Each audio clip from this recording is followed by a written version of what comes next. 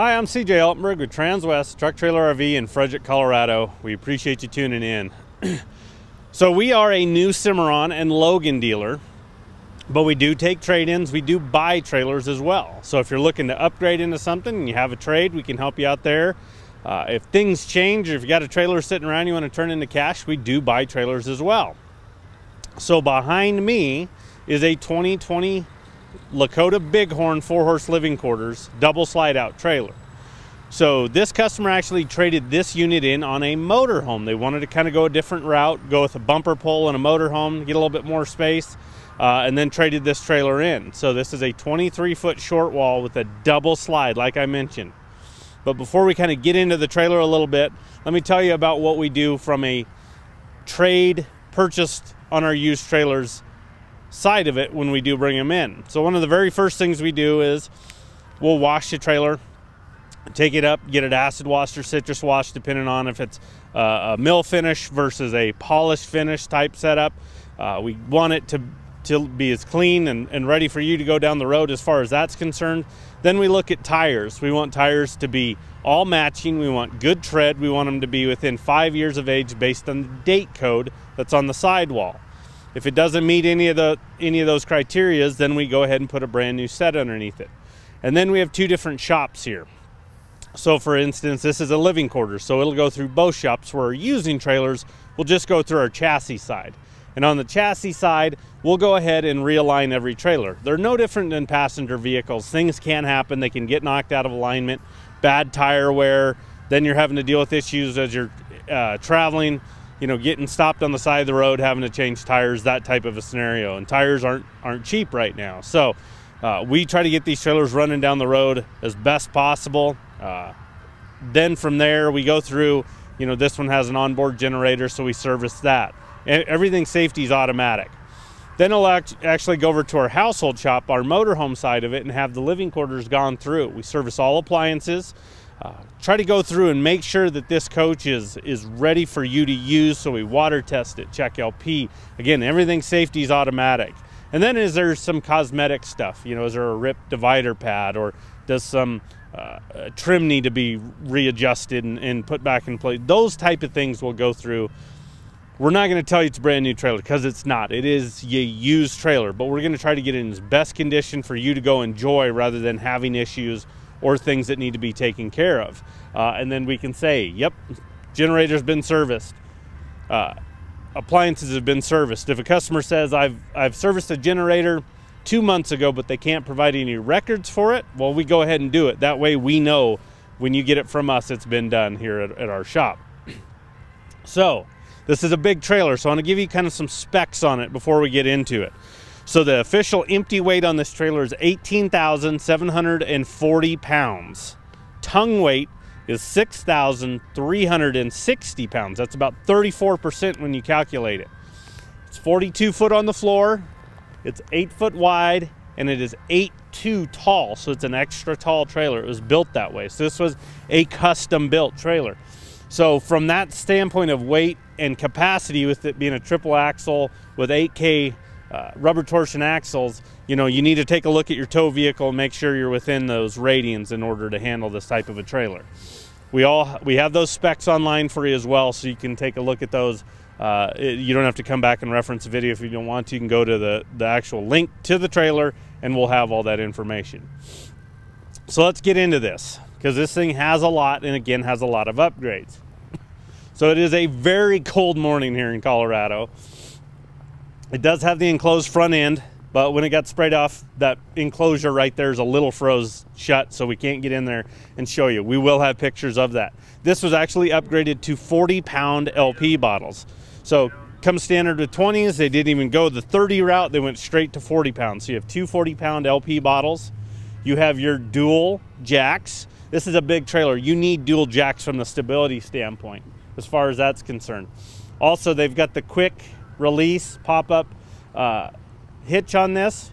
So you can really just, once it sets on the ball, it'll lock. But then there's just a cable to pull to go ahead and release it. So that's an upgrade on this trailer as well.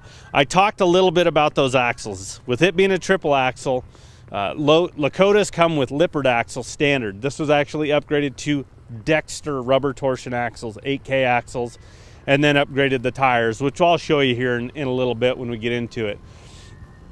Like I mentioned, a 23 foot short wall. So this is a good size living quarters we're looking at here. As we get over here on this passenger side, you'll notice we have the electric awning, so it's real easy to push the button. Out it comes. They've got exterior speakers, so it's a great place to entertain out here. Uh, and then as we get into the trailer, we're gonna show you some cool stuff on this one as far as this double slide setup.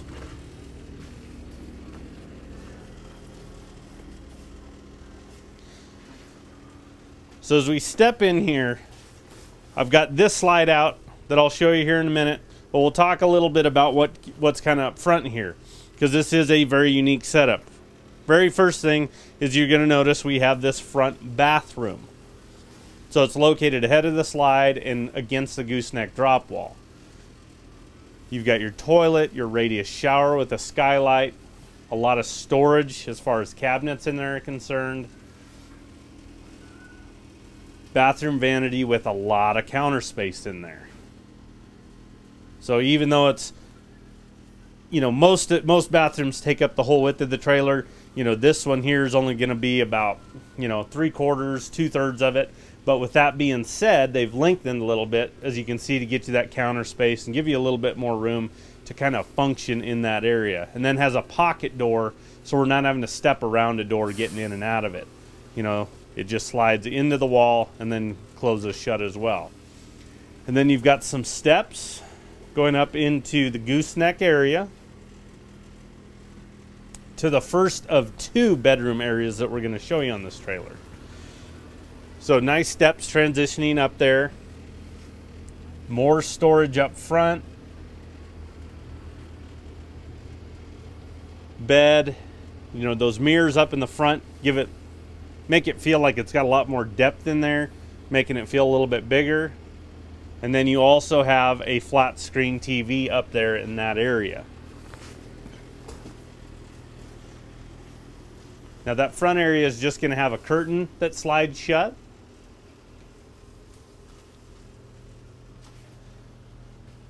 But then as we transition back here into this living area, You've got the big slide out, the nine foot slide. You've got a dinette seating area. This will also break down into a bed. So we have our gooseneck area, bed area, this bed area here, and I'll show you another one here in a second. But you've got storage throughout. You've got storage here on the back side of this slide out as well. They've got clothes rod in the top one. So if you wanted to just hang some clothes, you've got a shelf there on the bottom as well. But then this kitchen area is really interesting as well. Because what we have is we've got your big refrigerator freezer. I mean, in this size of a trailer, let's be real. We're, we're traveling. We're going to be probably traveling with a lot of people. And we're probably going to be traveling for a good amount of time. We want to have that, that capability of having freezer space and a lot of kitchen space as well in the refrigerator area. Instead of a microwave, you go in with a convection oven. But also, this has a three burner cooktop. And you don't see this very often unless it is a special order trailer. But you actually do have an oven on this trailer. A lot of times you'll just see a convection oven with a two burner cooktop, but they went ahead and went three burner oven and then a convection oven as well. And then take a look at the kitchen sink here you know, nice stainless. It's wide and deep. That's one thing that we really put a lot of emphasis on our inventory trailers is, you know, we want a lot of, uh, you know, area as far as the sink goes. We want it to be deep. We don't want a real shallow and small one. We understand you're to be washing dishes. We don't have a dishwasher here.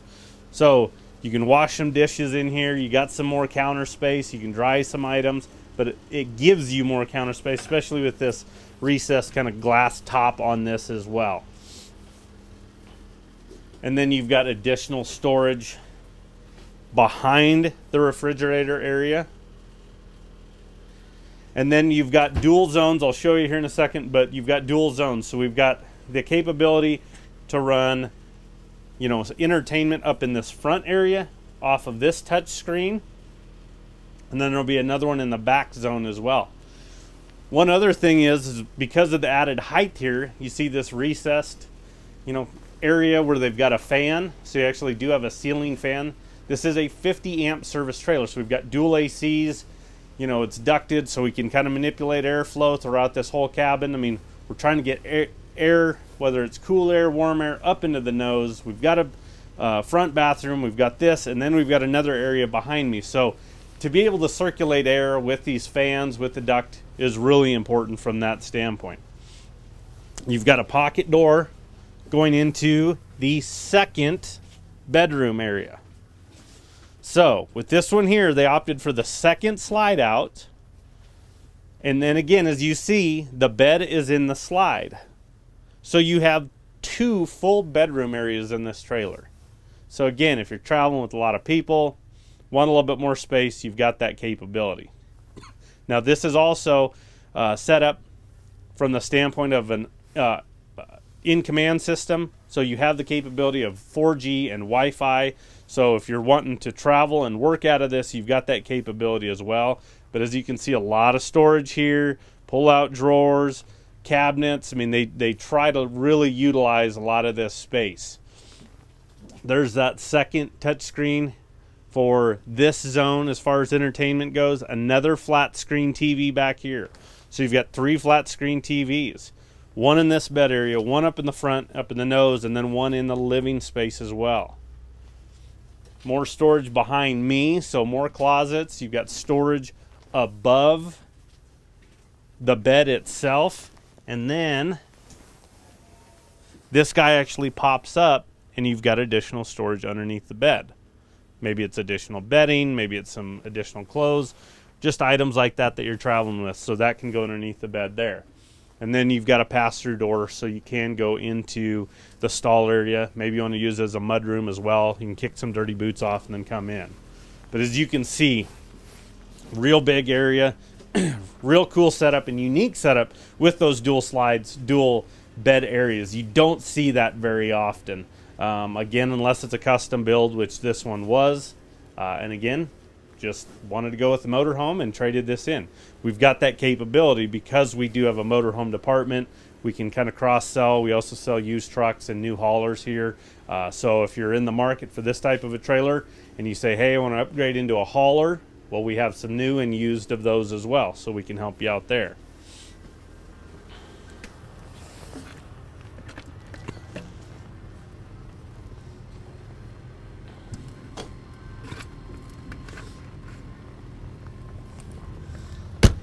So here's a good look. You've got graphics, you've got the frameless windows. Uh, you're starting to see more frameless windows on a lot of manufacturers nowadays it does give a cleaner, sleeker look to the trailer, a little bit different look as well. Um, you know, really, trailers trailers have evolved, but you know we haven't reinvented the wheel by any means. But some of these smaller things that we've done over the last couple years, I think, have really dressed these trailers up uh, from that standpoint. They have the polished lower extrusion on this trailer, so you don't want to acid wash it. You want to citrus wash this, wash this trailer because acid will burn it, give it a smokier look, and then you got to repolish it. So again, just a citrus wash. Like I mentioned, three 8K Dexter rubber torsion axles. Again, an upgrade over the, the Lippert that's standard. And then they actually upgraded into Goodyear 17.5 wheels and tires. So a lot heavier duty running gear underneath this trailer uh, as far as the axles itself, the tires itself, um, but you know, again, we got to look at the overall weight, what transfers to the truck. So I'm very happy they went with the, the Dexter 8Ks from that standpoint. And also they usually put like a 14 ply tire on these. So these are upgraded as well. You see the integrated pod up there. So again, it gives it, again, another sleek look to the trailer rather than the pod just sitting on top. So you have hay storage ahead of a generator box at the back. That is a gas Onan 5500 watt generator. Because this is 50 amp service, we need an upgraded uh, power source as far as the generator goes. A 4K is not going to do what you want to this, so we need to go with a bigger generator. But this generator's running as we're doing this and you can hardly hear it. So those real quiet, micro quiet Onan generators, it is a nice touch from that standpoint. So again, we went extra tall, 8.2 tall. When we actually get into these stall areas, those integrated pods actually drop the roof a little bit. So the, the height in the stall area is actually seven foot 11 inches. But the rest of the trailer is 8.2, but again, because of that integrated, it drops a little bit. So with that being said, trailer being taller, the axle articulation, they went 22 degrees down, so it kind of picked the box of the trailer up. When they roll axles down, it picks it up. When they roll them up, it kind of drops it. But they actually, you know, very smartly when they were building this, they actually extended this ramp four more inches because we picked the trailer up a little bit. We wanted this ramp to be longer. And the reason why longer is better in this scenario is it extends out farther. When we're dealing with these angles, if it's a shorter, this ramp's going to be steeper. So it's harder for the horses getting on and off. To where if you extend it longer, it reaches out farther and it's not as steep getting into this stall area. So as you come into the stall area, this back stall is a touch wider. This will also telescope down. Again, it's a little frozen this morning. I think we're in the single digits here. So this guy will pop up and slide over and it'll actually go closer to the wall so it opens this area up a little bit more. So you're not set at just this angle right here for horses making this transition. So what we'll try to do is we'll try to get some good pictures and put those online as well for you when that is, when it gets a little warmer and we get that broke down. But airflow dividers, they upgraded to those. Padded dividers as well. At your first stall, you have your stud divider that goes to the floor. So maybe it's additional storage up here. Uh, you don't want to worry about items getting back into additional horses at the back, or you've got somebody that you want to keep separated. And then this is extended up over the hip as well, with the airflow bars is going up and over the hip of a horse. But again, if you're using it for additional storage, you could you could stack items clear up to the ceiling basically, so you don't have to worry about them getting underneath horses. You have drop windows on hip wall, drop windows on head wall as well. I'll show you. LED lights here on the inside. Because it is an integrated pod, that pod's literally right up against this. So it's, it's line and insulated, but you don't have roof vents because that pod's right there.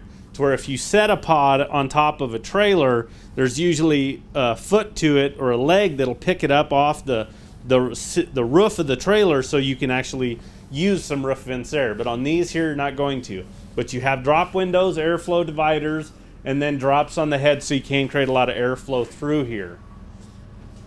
You even, on the head grills, they went airflow as well.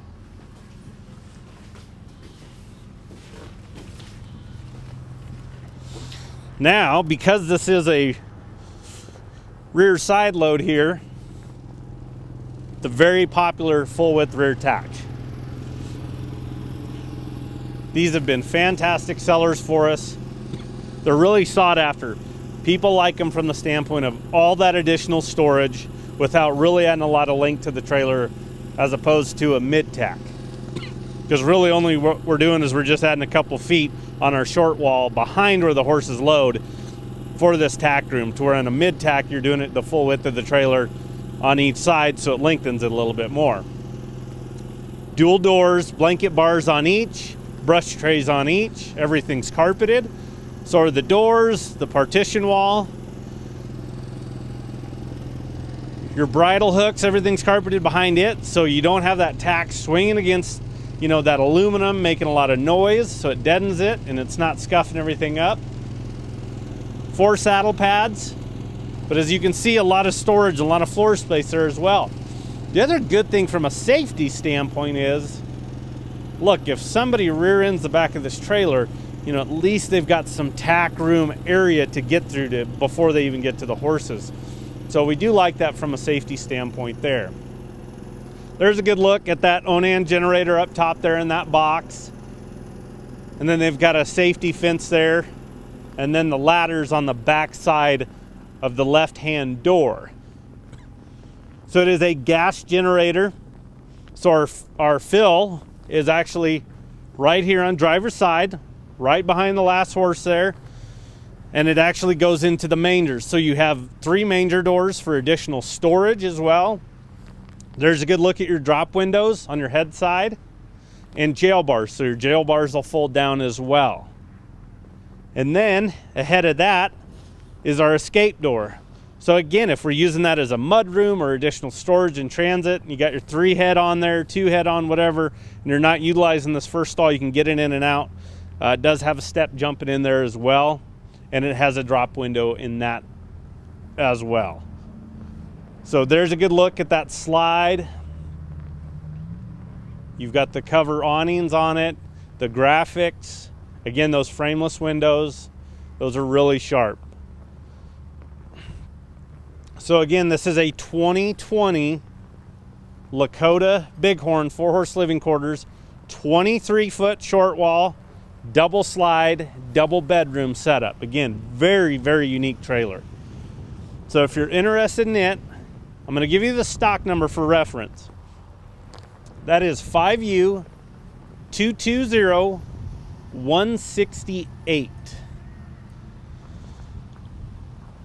So give us a call. Anybody on the sales team can help you out. Again, we do take trades, we do buy trailers. We'll be happy to look at your trade if you're looking to upgrade into this.